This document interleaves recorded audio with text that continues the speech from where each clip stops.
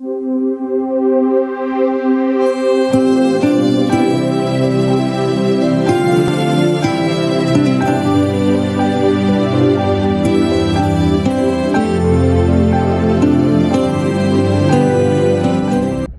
በኢየሱስ ክርስቶስ ስም ሰላም ለእናንተ ይሁን። ቅዱሳን ወንድሞቼ እና እህቶቼ በዓለም ዙሪያ ያላችሁ ሰላም ሰነበታችሁ። እንዴት ናችሁ? ክብር ለኢየሱስ ይሁን። ኢየሱስ ክርስቶስ ጌታ ነው። ሃሌሉያ። የወደደን ኃጢአታችን በደሙ ያጠበ። እነሆ ለአባቱ ካህን ቅዱስ ሕዝብ ሊያደረገ ለእርሱ ለክርስቶስ ኢየሱስ ጌታ እነሆ ክብርና ምስጋና ሁሉ ለዘላለም እስከ ዘላለም ለእርሱ ይሁን። አሜን። ለወደደን አንድ ላረገን ሃሌሉያ። ከነገድና ከቋንቋ ከወገን ሁሉ ዋጅቶ ለአባቱ ካህን ያደረገን ለአባቱ የንጉሥ ልጆች ያደረገን ሃሌሉያ። ወራሽ አደረገን ይላል መጽሐፍ ቅዱስ ሲናገር። እናንተ ምሕረት ያገኛችሁ አልነበራችሁም፣ አሁን ግን ምሕረት አግኝታችኋል ይላል። ምሕረት ያገኘ ሕዝብ ደግሞ ደስ ይለዋል፣ ሁል ጊዜ ያመሰግናል፣ እግዚአብሔርን ሃሌሉያ ያመልከዋል። በእውነትና በመንፈስ እግዚአብሔርን ያመልከዋል። እጆቹን ዘርግቶ ከልቡ ጋር ለወደ እግዚአብሔር ይጮኻል። እነሆ እግዚአብሔር መጽሐፍ ቅዱስ ሲናገር ልባችሁ እነሆ በሰማይ ይሁን ይላል፣ ሀሳባችሁ በዛ ይሁን ይላል፣ በምድር አይደሁም በሰማይ ይሁን ይላል። ቆላስይስ ምዕራፍ 3 ላይ ከቁጥር 1 እስከ 3 ሲናገር ልባችሁ ባለበት በዛም ደግሞ ምናችሁ ይሆናል መዝገባችሁ ይሆናል ብሎ ደግሞ ማቴዎስ ላይ ይናገራል። እና ጌታ ኢየሱስ ልባችን እዚህ ምድር ላይ እንዳይሆን ልባችን ግን በሰማያዊ ስፍራ እንዲሆን መጽሐፍ ቅዱሳችን ክብራችን በዛ እንደሆነ ይናገራል። በኤፌሶ ምዕራፍ 1 ምዕራፍ 2 ላይ ይናገራል። በሰማይ ባለው ስፍራ እነሆ እግዚአብሔር አስቀመጠን ይላል። ከዛ ከክርስቶስ ኢየሱስ ክርስቶስ ጋር አስነሳን፣ ከእርሱ ጋር አስቀመጠን፣ ከእርሱ ጋር ደግሞ በክብር ይገልጣቸዋል ብሎ መጽሐፍ ቅዱሳችን ይናገራል። ስለዚህ ወንድሞቼና እህቶቼ ክብራችን በዚህ ምድር ላይ ሳይሆን ክብራችን በሰማይ ነው። ክብራችን ደግሞ ዘላለማዊ ነው። ክብራችን ደግሞ ጊዜያዊ ያልሆነ በሰው ስራ ያልተሰራ በሰው እጅ ያልተሰራ ነገር ግን በእግዚአብሔር እጅ የተሰራ ለእኛ የተዘጋጀልን ታላቅ ክብርና ታላቅ በረከት ይጠብቀናል። ክብር ለኢየሱስ ይሁን። ሃሌሉያ። እግዚአብሔር አምላካችን የተባረከ ይሁን። ዛሬ ለመጀመሪያ ጊዜ ወደዚህ ቦታ የመጣችሁ በዚህ በዩቲዩብ ቻናላችን የምትከታተሉ ቅዱሳን ወንድሞቼ እና እህቶቼ በዓለም ዙሪያ ያላችሁ እንኳን ደህና መጣችሁ። ባላችሁበት የእግዚአብሔር ሰላም፣ የእግዚአብሔር ጽድቅ፣ የእግዚአብሔር ፍቅር፣ የእግዚአብሔር ሰላም፣ የእግዚአብሔር ጥበቃ ይብዛላችሁ። ሃሌሉያ። ለመጀመሪያ ጊዜ የመጣችሁ ጌታ የማታውቁ ደግሞ የእግዚአብሔርን ቃል በዚህ ትከታተላላችሁ። ደህንነት ትምህርቶች አሉ በቻናላችን ታገኛላችሁ። subscribe አድርጉ፣ ተመዝገቡ፣ ደግሞ comment ስጡን፣ እንጸልይላችኋለን። እግዚአብሔር አምላክ ደግሞ በእናንተ ላይ የእግዚአብሔር እጅ ይመጣል፣ ትፈወሳላችሁ፣ እግዚአብሔር ይለውጣችኋል። ክብር ለጌታ ይሁን።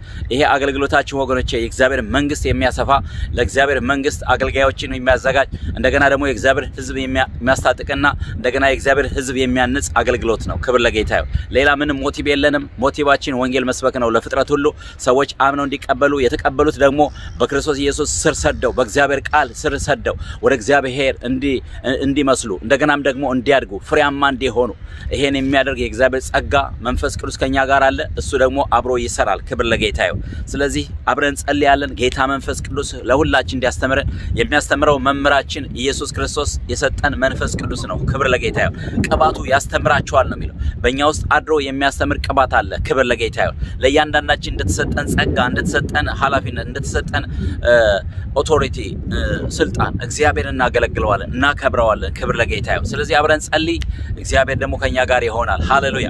መንፈስ ቅዱስ ሆይ እናመሰግናለን። ዛሬም በኢየሱስ ክርስቶስ በ Victoria Beach እኖ በዚህ ቦታ በአልቶና ቢች አለንና ጌታ መንፈስ ቅዱስ የፍጥረት ሁሉ ጌታ አንተ ባህሩና ሰማይን ሁሉ የፈጠር የዘላለም አምላክ ዛሬም ደግሞ ለሕዝብ ቃልን ትሰጣለህና እናመሰግናለን።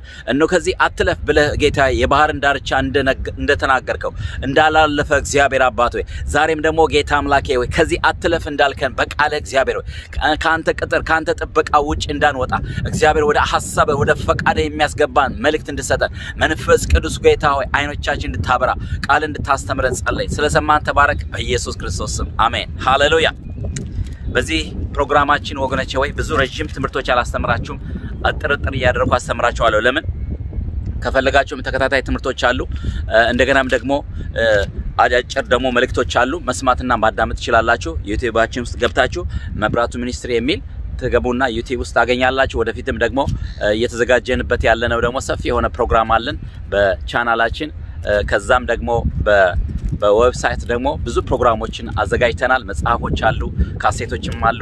ወደፊት ትገዛላችሁ እዛ ኦንላይን እግዚአብሔር እንግዲህ በእኛ ህይወት የሰራውንና እያደረገ ያለውን ወደፊትም ደግሞ በምድራችን ብቻ አይደለም በአፍሪካ በአፍሪካ ብቻ አይደለም ላቲን አሜሪካ፣ North America እንደገናም ደግሞ በኤዥያ በተለያየ በሩቅና በቅርብ ደሴቶች ሁሉ ላይ በአውስትራሊያ nation እንደገና በአቦርጂኖች በተለያየ ቦታ የእግዚአብሔርን ቃል እናካፍላለን፣ እናስተምራለን፣ እንረዳለን።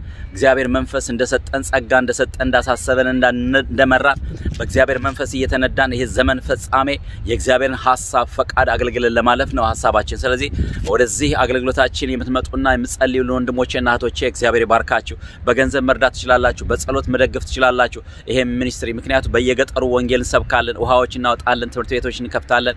ወደፊትም ደግሞ እግዚአብሔር ቢፈቅድ ሃሌሉያ አዛውንቶችን ለመርዳት እንደገና ህፃናቶችን ለመርዳት ለማሳደግ እንደገና ደግሞ ለክርስቶስ ደግሞ እውነተኛ አገልጋዮችን ደግሞ ለማሰማራት ወደ የዓለሙ ሁሉ ወንጌል ለፍጥረት ሁሉ መዳረስ ስላለበት ይሄ የመንግስት ወንጌል ለዓለም ሁሉ ይሰበካል። ያን ጊዜ የጌታ መምጣት እንደሚሆን ምልክቱ ይናገራል። ሃሌሉያ ዮሐንስ ወንጌል ማቴዎስ ምዕራፍ 24 ላይ ቁጥር 14 ላይ ሲናገር ይሄ የመንግስት ወንጌል በዓለም ሁሉ ይሰበካል፣ ያን ጊዜ መጨረሻው ይሆናል ይላል። ስለዚህ ለኔና ለዚህ ጊዜ ወገኖቼ ወይ ለእግዚአብሔር መንግስት መስፋት ምክንያት እንድትሆኑ እናንተ እህቶቼ፣ ወንድሞቼ፣ አባቶቼ፣ እናቶቼ በገንዘባችሁ በንብረታችሁ እኖ በጸሎታችሁ ከኛ ጋር እንድትቆሙ አሳስባለሁ። ለምን የእግዚአብሔር መንግስት የሚሰራው በቲም ወርክ ነው። የኔ ስራ አይደለም፣ የሁላችን ስራ ነው ወገኖቼ ወይ እግዚአብሔር እንደሰጠን ጸጋ ግን እንሮጣለን። አንዳንዶች ነቢያት፣ አንዳንዶች ሐዋርያት፣ አንዳንዶችን እረኞች፣ አንዳንዶች ወንጌላውያን፣ አንዳንዶች ዘማሪዎች እና ደግሞ ወንጌላውያኖች አስተማሪዎች አድርጎ እግዚአብሔር እንደቀባ ለእያንዳንዳችን የተሰጠን መክሊት አለ፣ ጸጋ አለ፣ ልግስና ስጦታ አለ፣ ምክር አለ፣ ጸሎት አለ፣ ወገኖች እርዳታ አለ ይላል መጽሐፍ ቅዱስ ሲናገር። ስለዚህ በተሰጣችሁ ጸጋ እንድታገለግሉ የእግዚአብሔር መንግስት ባላችሁበት አደፋፍራችኋለሁ። ባላችሁበት local church ታማኝ ሆናችሁ የእግዚአብሔር መንግስት ሀሳቡን ለማገልገል እናንተም ደግሞ እንድትዘጋጁ አሳስባችኋለሁ። ብዙ መብራቶች ያስፈልጋሉ። ብዙ ነቢያቶች፣ ብዙ ሐዋርያቶች ያስፈልጉናል። ብዙ ወንጌላውያኖችና አስተማሪዎች ያስፈልጉናል። ብዙ እረኞች፣ እውነተኛ እረኞች ያስፈልጉናል። ለራሳቸው ሳይሆን ለህዝቡ የሚቆሙ ሃሌሉያ። እግዚአብሔር አምላክ ወገኖቼ በዚህ ፍጻሜ ዘመን በእኔና በእናንተ ትልልቅ ነገር ሊሰራ ይፈልጋል። ግን ከዛ በፊት እግዚአብሔር በልቤ ውስጥ አንድ ቃል አለ። እሱን ቃልን አነበውና ከዛ በዚህ ቃል መሰረት አብረን እንካፈላለን የእግዚአብሔርን ቃል። ክብር ለኢየሱስ ይሁን። በሁለተኛ ቆሮንቶስ ምዕራፍ 14 ቁጥር 1 እና 2 እንደዚህ ብሎ ይናገራል። ትምክህት የሚያስፈልግ ነው አይጠቅምም። ነገር ግን ከጌታ ወዳለው ራእይና መገለጥ እመጣለሁ። ሰውን በክርስቶስ አውቃለሁ፣ በስጋ እንደሆነ ግን አላውቅም፣ ወይም ከስጋ ውጭ እንደሆነ አላውቅም፣ እግዚአብሔር ያውቃል። እንዲህ ያለውን ሰው ከ14 ዓመት በፊት እስከ ሶስተኛው ሰማይ ድረስ ተነጠቀ ብሎ ሐዋርያ ጳውሎስ ስለ ራሱ ይናገራል። ስለዚህ ሰው ይናገራል። ስለማን? ስለ ራሱ ከ14 ዓመት በኋላ ወደ ሰማይ ሂጄ በሶስተኛው ሰማይ ያየሁት የሰማሁት ይሄ ነው ብሎ እንደ ሚስጥር አድርጎ ይናገራል። ክብር ለጌታ ይሁን። ግን ሐዋርያ ጳውሎስ በዚህ ውስጥ የሚጠቅሰው ምንድን ነው? ሰውን በምን አውቃለሁ ይላል። በክርስቶስ አውቃለሁ። ወገኖቼ ሆይ በዚህ ዘመን ሰውን በምን ታውቁታላችሁ? ሰውን በምን ታውቁታላችሁ? ሰው ቆይቶ ቆይቶ የጌታ ነው ብላችሁ መጨረሻ የጌታ ሳይሆን ሲቀር ታያላችሁ። በጣም ነው የምታዝኑት። እና ለምን ቢባል በቃ በውስጡ የሆነ የተቀመጠ የተደበቀ ነገር አለ። ስለዚህ እግዚአብሔር የሚፈልገው የውስጣችንን ነገር ነው። እግዚአብሔር የውስጣችንን ንጽህና፣ የውስጣችንን ጌታ ለውጥን ይፈልጋል። የውስጣችን የፊታችን አይደለም፣ የውስጣችን የውጫችን ከብር አይደለም። የውስጣችን እንዲሰራ፣ እንዲፈወስ፣ እንዲለወጥ እግዚአብሔር ይፈልጋል።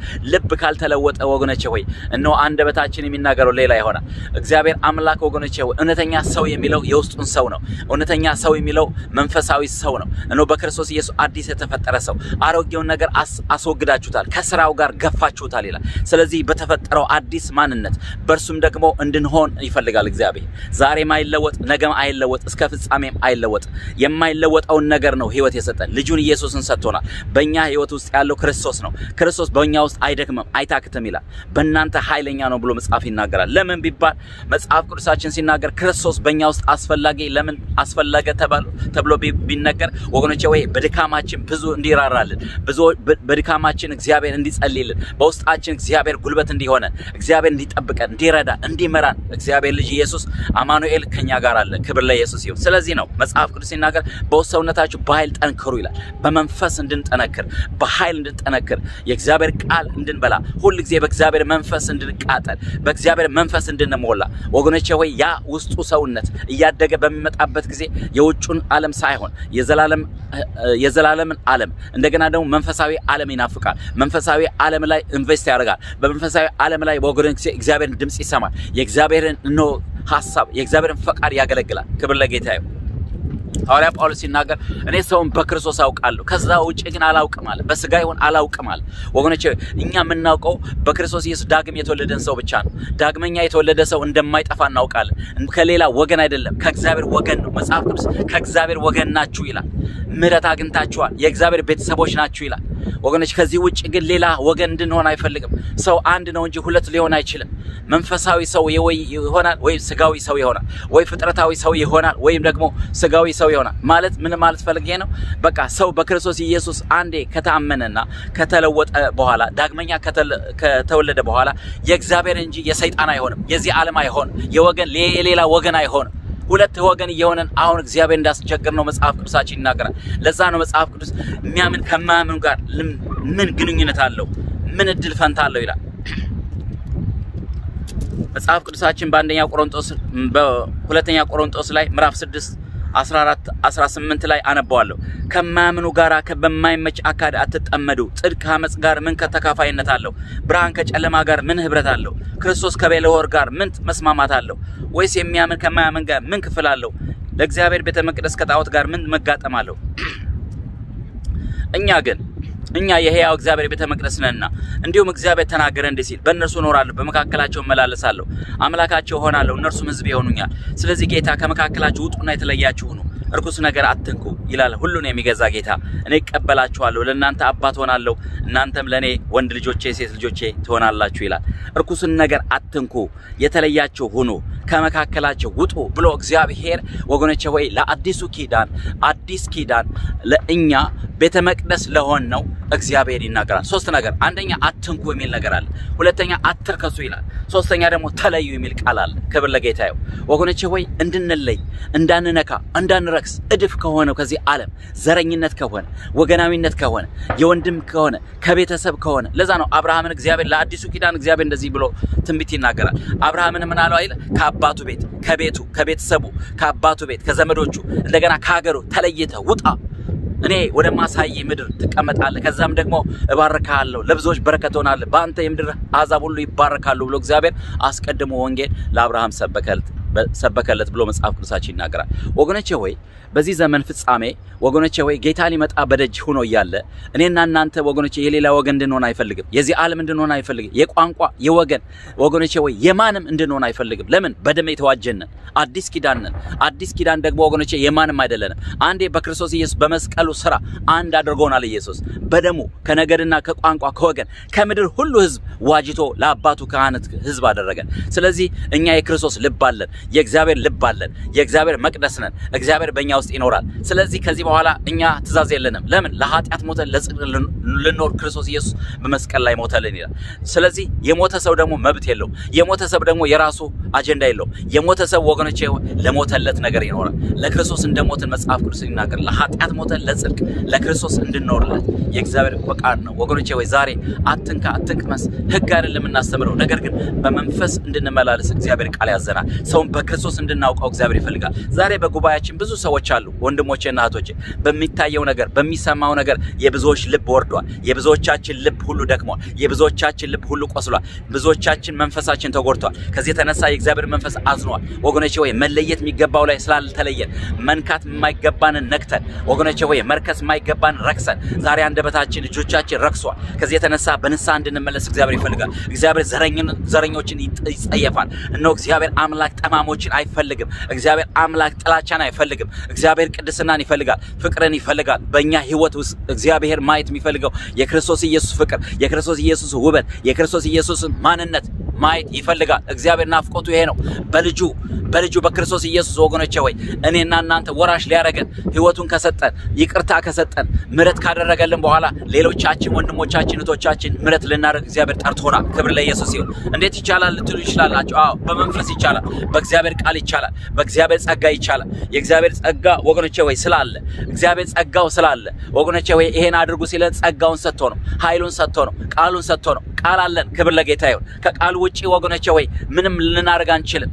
ለዛ ነው በክርስቶስ ኢየሱስ ያለውን እህቴና ወንድሜን አውቃለሁ። ለምን የክርስቶስ የሆነ ሁሉ ሰማያዊ ሀሳብ አለው፣ ሰማያዊ አጀንዳ አለው። ለምድር ሙተዋል፣ ለጽድቅ ይኖራል። ክብር ለኢየሱስ ይሁን። በሚረክስ ነገር፣ በሚታይ ነገር፣ በሚሰማ ነገር፣ ሁኔታ በሚያወራው ሰዎች በሚሉት እሱም ባለበት ሀሳብና ምኞት ሊሄድ አይገባውም። መጽሐፍ ቅዱስ ሲናገር ወገኖቼ እኛ ልኖር የሚገባን አንድ ለተዋጀንበት ለተገዛንበት፣ ሃሌሉያ በደም ተገዝታችኋል ይላል። በደም ተገዝታችኋል የራሳችሁ አይደላችሁም ሲል መጽሐፍ ቅዱስ የማንን ስለዚህ የክርስቶስ ከሆነ ወገኖቼ ወይ ክርስቶስ ነው በእኛ የሚሰለጥነው፣ ክርስቶስ ነው በእኛ የሚያገባው። ብንሰደብ፣ ብንነቀፍ፣ ብንደበደብ፣ ብንገደል ወገኖቼ ወይ ስለኛ ደም መላሽ ስለኛ የሚፈርድ በጽድቅ ኢየሱስ ክርስቶስ በሰማያት አለ። ሃሌሉያ በአብ ቀኝ ስለኛ የሚማልድ ኢየሱስ ክርስቶስ ሕያው ነው። ዛሬም ከኛ ጋር ያለ አብሮን የሚሰራ የእግዚአብሔር ልጅ ነው። ስለዚህ ወንድሞቼ እና እህቶቼ ከዚህ ከዚህ ምድር ላይ ወጥተን ወደ ሰማይ ልባችን እንድናስቀምጥ እግዚአብሔር ይፈልጋል። ለምን? በዛ ያለው ይበልጣል። ክብር ለኢየሱስ ይሁን። የቆላሲያስ ምዕራፍ ሶስት ላይ ባነበው ደስ ይለኛል። ለምን ቢባል ይሄን ነው እንድናደርግ እግዚአብሔር ይፈልገው። የምድር ወገኖቼ ወይ አስቸጋሪ ነገር በምድር ላይ ሲፈጠር ወገኖቼ ወይ አይኖቻችን ወደ ሰማይ እንድናነሳ የእግዚአብሔር ፈቃድ ነው። ልባችሁ ባለበት መዝገባችሁ በዛ ይሆናል። እንግዲህ ከክርስቶስ ጋር ከተነሳችሁ ክርስቶስ በእግዚአብሔር ቀኝ ተቀምጦ ባለት ባለበት በላይ ያለውን እሹ በላይ ያለውን አስቡ እንጂ በምድር ያለውን አይደለም። ሞታችኋል፣ ህይወታችሁ በእግዚአብሔር ከክርስቶስ ጋር ተሰውሯል። ህይወታችሁ የሆነ ክርስቶስ በሚገለጥበት ጊዜ በዚያን ጊዜ እናንተ ደግሞ ከእርሱ ጋር አብራችሁ በክብር ትገለጣላችሁ። ደስ አይልም? ስለዚህ ምን በሉ ይላል? በላይ ያለውን አስቡ እንጂ በምድር ያለውን አይደለም። ሞታችኋል፣ ህይወታችሁ በእግዚአብሔር ከክርስቶስ ጋር ተሰውሯል። ዛሬ ወንድሜና እህቴ ወገኖቼ ወይ ልባችን በምን ላይ ነው ያለው? ልባችን ባለበት እኮ ነው መዝገባችን በዛ። ወገኖቼ ወይ ከዚህ ምድራዊ ነገር እንድንወጣ እግዚአብሔር ይፈልጋል። እግዚአብሔር አመፃን አይፈልግም። መጽሐፍ ቅዱስ ሲናገር እርኩስ የሚያደርግ ይርከስ ይላል። አመፅ የሚያደርግ አመፅ ያድርጋል። ቅዱስ ቅድስና የሚያደርግ ደግሞ ቅድስና ያደርግ ደግሞ ራሱ የሚለይ ደግሞ ለእግዚአብሔር ይለይ ይቀድስ ይላል። ወገኖቼ ለእያንዳንዱ እንደየስራ ዋጋ እከፍል ዘንድ በክብር እመጣለሁ ብሎ ጌታ ኢየሱስ በዮሐንስ ራእይ ላይ ምዕራፍ 22 ላይ ቁጥር 13 12 13 ይናገራል። ወገኖቼ ሆይ ዛሬ ተለይተን ለእግዚአብሔር ቤተ መቅደስ ሁነን የእግዚአብሔር ሀሳብ የእግዚአብሔር ፈቃድ ምን እንደሆነ እንድንመረምር በቃሉ እግዚአብሔር ይፈልጋል። በጸሎት ወደ እግዚአብሔር እንድንቀርብ እግዚአብሔር ይፈልጋል። ዛሬ ምሕረት ያርግልን እግዚአብሔር። በያለንበት ወንድሞቼ እናቶቼ፣ በጣም ልብ የሚያሳዝን ነው። ወንድሞቻችን ጠልተን የት ነው የምንገባው? ወንድሙን የሚጠላ ምን ነፍሰ ገዳይ ነው ይላል። ነፍሰ ገዳይ ደግሞ የእግዚአብሔር መንግስት አይወርስም ብሎ መጽሐፍ ቅዱስ ሲናገር ራሳችን መርመር፣ ወንድሞቼ ራሳችን ብንመረምር ባልተፈረደብንም ይላል። ራሳችን መርምረን በንሳ ብንመለስ ወገኖቼ ወይ እግዚአብሔር ይቅርታ ይሰጠናል። ስለዚህ ወንድሞቼና እህቶቼ ሰውን በክርስቶስ ልናውቀው ይገባናል። በክርስቶስ ያለ ማንነታችን ለዓለም ሁሉ ይታያል፣ እንኳን ለወንድሞቻችን ለእህቶቻችን። ስለዚህ እኛ በክርስቶስ ኢየሱስ የሆን ሁሉ አንድ ነን፣ አንድ ነገር ነን፣ አንድ ወገን፣ አንድ ቋንቋ። ወገኖች በምድር ላይ የተለያየ ቋንቋ ሊኖረን ይችላል፣ ባህል ሊኖረን ይችላል፣ አገር ሊኖረን ይችላል። እግዚአብሔር አምላክ ግን ወገኖቼ ሆይ በክርስቶስ ኢየሱስ አንድ አድርጎናል። በክርስቶስ ኢየሱስ አንድ ያደረገውን ክርስቶስ በመስቀል ላይ አንድ ያደረገውን እኛ ልንሰብረው፣ እኛ ልናበላሸው፣ እኛ እንደገና ደግሞ ተመልሰን ወደኋላ ልንመለስበት አይገባም። ለምን? ክርስቶስ በመስቀል ላይ ሁሉን ጨርሶልናል። ኢየሱስ ክርስቶስ ጌታ ነው። አብረን እንጸልይ። ክብር ለኢየሱስ ይሁን። አባት ሆይ እናመሰግናለን። ዛሬ ቃል መጥቶልናል፣ ሰውን በክርስቶስ እንድናውቀው። ጌታ ሆይ አንተ የሰጠህን መታሰቢያ እነሆ በፍቅራችሁ ዓለም የወቃችሁን ያልከን ጌታ፣ ከዚህ ውጭ ሌላ መታሰቢያ የለንም። እኔና እህቶቼ ወንድሞቼ፣ እነሆ በፍቅርህ እንታወቅ፣ በትህትናችን በየዋህነታችን እንታወቅ። ጌታ ኢየሱስ ሆይ እነሆ ከእኔ ተማሩ ብለሃል። እኔ ትሁት የዋህ ነኝ፣ በልቤ የዋህ ነኝ ብለሃል። ጌታ ሆይ ከአንተ ዘንድ እንማር ዘንድ አይኖቻችን አብራ። እግዚአብሔር አባት ሆይ መተላለፋችንና ኃጢአታችን ይቅር በለን። ዘረኞች ነን፣ አመፀኞች ነን። እነሆ እግዚአብሔር አንደበታችን ረክሷል። እጆቻችን እነሆ እግዚአብሔር ሆይ እነሆ ደም ነክቷል። አባት ሆይ በአንደበታችን በሀሳባችን ረክሰናል። ምሕረት እንድታደርግልን በዓለም ዙሪያ ያሉ ቅዱሳን እህቶቼ ወንድሞቼ ምሕረት እንድታደርግልን ጸለይ። አባ ስለሰማን ተባረክ። እግዚአብሔር ሆይ ምሕረት ስላረክልን ተመስገን። በልጅ በኢየሱስ ደም ቀድሰን በመንፈስ እግዚአብሔር ሆይ ተናገረን፣ አስተምረን፣ ገስጸን፣ ምከረን። ጌታ ሆይ እንዳንጠፋብህ ክብር ሁሉ ለአንተ ይሁን በኢየሱስ ስም አሜን። ጌታ ይባርካችሁ። ኢየሱስ ክርስቶስ ከእናንተ ጋር ይሁን። ጌታ ኢየሱስ ይባርካችሁ። ሰላም